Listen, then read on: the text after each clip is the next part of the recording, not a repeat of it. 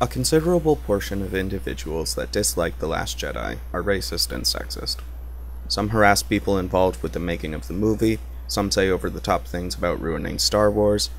Some of them just don't like the movie because there are characters of color in prominent positions or women who do things beyond what Leia did in the first trilogy. All of these are reprehensible. But they are also a very vocal minority one which has incorrectly painted the only possible feminist or non racist opinion of The Last Jedi as being positive. You either like The Last Jedi, or you're not a feminist. Thus, a lot of really good criticism of racism and sexism in The Last Jedi goes into the proverbial garbage can of self proclaimed progressive fans. As a disclaimer, I enjoyed The Last Jedi and do not think the film was overall racist. I only wanted to point out a few things I noticed, which were probably included unintentionally, I'm not angry with anyone involved with this film.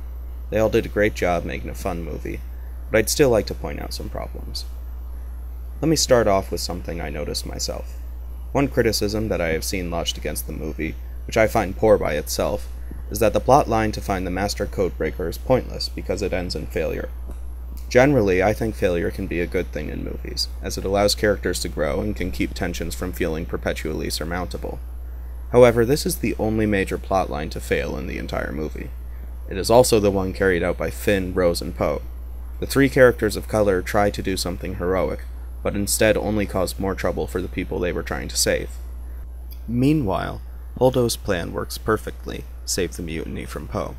Rey successfully finds Luke, convinces him to help in a roundabout way, helps defeat Snoke, and rescues the entirety of the Resistance. Luke ultimately saves everyone, and even Kylo Ren manages to succeed in three out of his four plans. And he's the villain. The subtext present in this film suggests that, in Rian Johnson's Star Wars, white characters are successful, and characters of color may try, but ultimately need rescuing by their white allies. This is common in many biopics and dramas, where even if the movie is about a black character from real life history, it takes a white person to stand up and show them the way.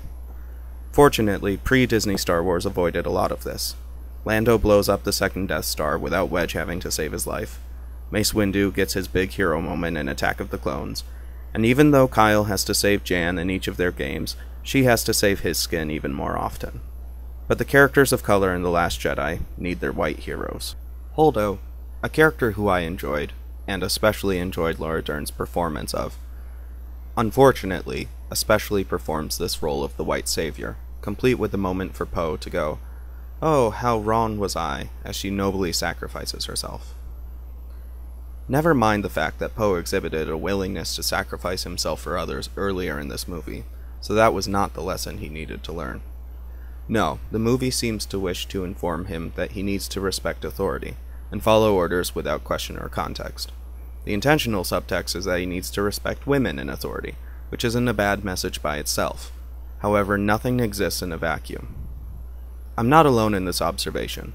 Poe has been described as embodying toxic masculinity, which is a fair criticism of the movie character presented to us, and this movie as being staunchly feminist. Having toxic masculinity cause problems in a film is good, and not even new to Star Wars. Problems arise in the prequel trilogy due almost entirely to weak, self serving politicians and toxically masculine views on love. To some extent, perhaps Poe wouldn't have gone behind a male commander's back, and even if the message is muddled by saying Holdo wanted to save the Resistance more than being the hero, which is the same thing Poe did, and by her risking the lives of everyone in the Resistance, women in positions of power do face unbelievable discrimination from male subordinates. So why'd it have to be Poe? Star Wars fans have a complicated relationship with their first Latino lead, assuming we're not counting Bail Organa, of course. While The Force Awakens introduced a fun pilot character that worked as a leader and an inspiration to his friends, fandom took the lacking aspects of his character and filled them in with whatever they could. Charles Soule's Star Wars Poe Dameron comics elaborated on Poe as a leader, and it was well received. He was humble, but funny, and equally likable. More egregiously, some fans relied on Latino stereotypes.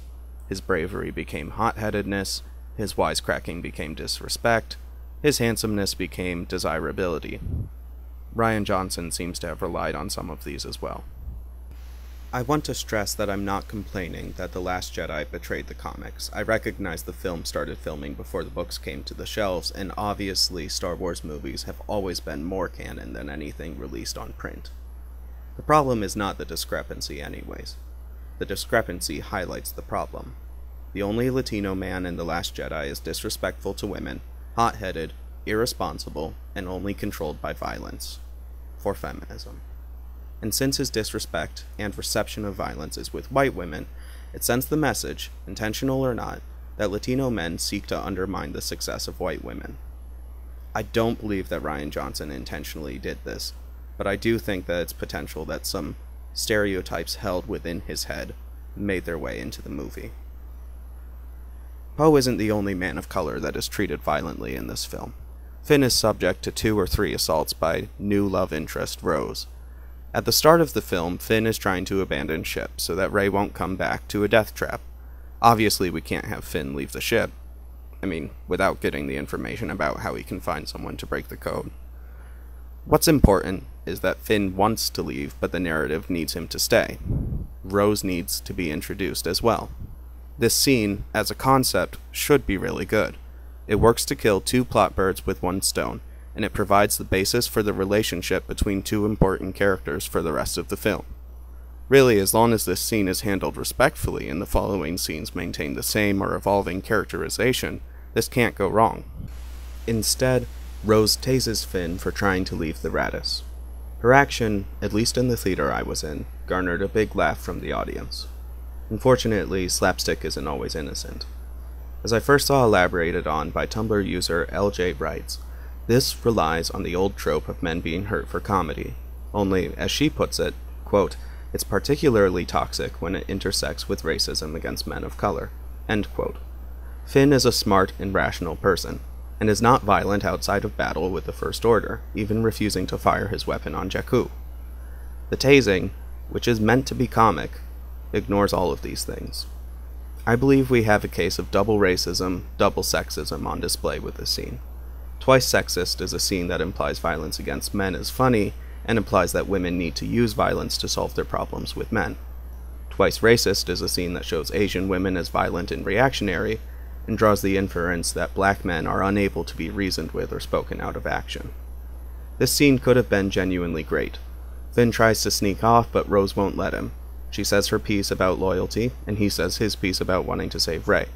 Then she can say that he'll have to go through her, he begrudgingly accepts her stance and goes to speak with Poe about alternatives. Instead, we receive something that will make any growing friendship much harder to understand, and relies, again, on most likely unintentional stereotypes. Rose later rams her skimmer into Finn's when he is trying to sacrifice himself to save the Resistance. Ignoring that this is again an action of violence, one which could plausibly kill both Finn and Rose, I understand that she is trying to save his life, even if the script doesn't make it seem logical. This scene happens because something something saved what we love. And then they kiss. Well, rather, Rose kisses Finn. There's no indication that he's into it. I guess payback for Empire Strikes Back. And is there any romantic relationship in these films that doesn't have physical violence or unwanted kissing? Oh, okay. Good for you too. Rosa is an unfortunate opportunity for the first leading woman of color in a Star Wars film. Aside from the two aforementioned scenes, I do like her character in theory. Someone from the working class, disillusioned with luxury, but still astounded by heroes. A welcome change from the categories of poor desert dweller, monk, royal, veteran, and criminal. I want to stress that there is definitely a considerable amount of hatred for Rose because she is not white and not a man. I also want to stress that anyone that dislikes Rose and then harasses Kelly Marie Tran is reprehensible and undeserving to call themselves a Star Wars fan. The last thing I want to talk about in detail is the problem with Kylo Ren. I've seen many people call him sympathetic. He works as a villain. That's it. The Last Jedi plays with the broken child themes, but it does so in a very misguided way. First of all, Kylo Ren was an adult when Luke ignited his lightsaber in his presence. Also, his response was to kill everyone else at the Jedi Temple, and he commits multiple genocides.